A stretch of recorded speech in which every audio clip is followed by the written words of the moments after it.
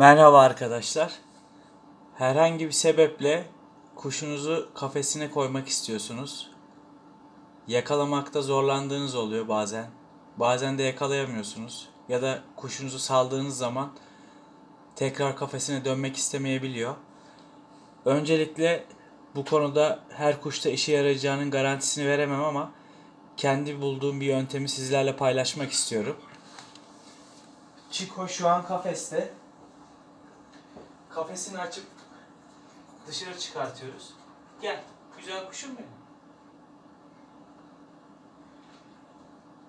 Kendi yaptığım oyun istasyonu, topları, arabası, zili bunlarla güzel vakit geçirebiliyor.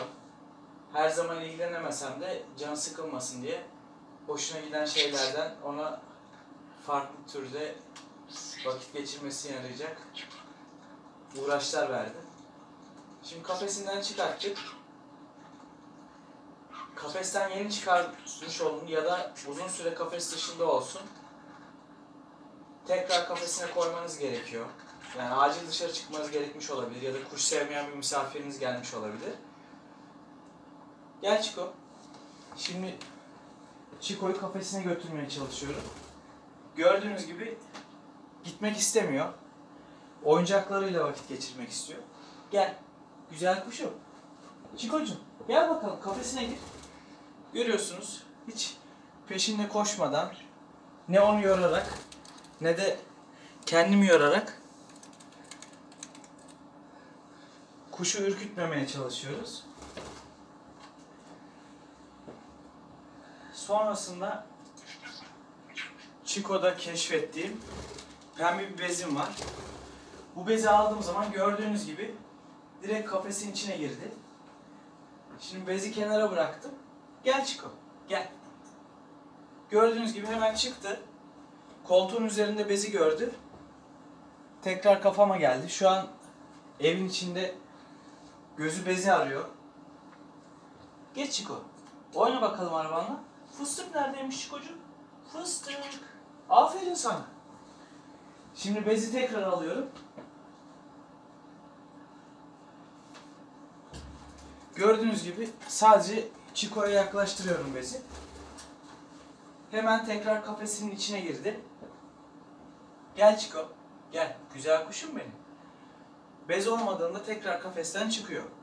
Kafesteyken kafesin kapağını kapatarak e, kuşunuzun emniyetini sağlayıp misafirinizle ya da dışarı çıkacaksanız dışarıda vaktinizi geçirebilirsiniz. Bunu nasıl yaptığımı şöyle açıklayayım. İlk zamanlar alışma sürecinde e, kafese girmiyordu ya da kendisini tutarak, elimle tutarak e, benden ürkütmek istemiyordum. Sonra bir süre pencereden kafese, kafesten pencereye gel Çiko. Çiko'yu kovalayarak yoruyordum. Sonrasında tutarak kafesine koyuyordum. Bazı zamanlar az önce gördüğünüz bez ile e, kovalıyordum kuşu kafesine gitmesi için. Daha doğrusu yormak için konduğu yerden. Elimle yakalayarak elime yabancı kalmasını istemediğim için bezle kovalıyordum.